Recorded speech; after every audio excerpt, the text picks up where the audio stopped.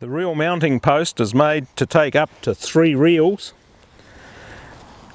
To put the reels on, you remove the reel stabilizer and the handle and then use that same bolt and nut just to mount the reel onto the mounting post there. Once you've got the reels on,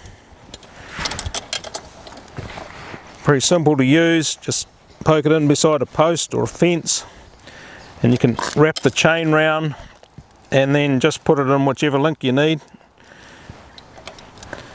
and it's ready to go.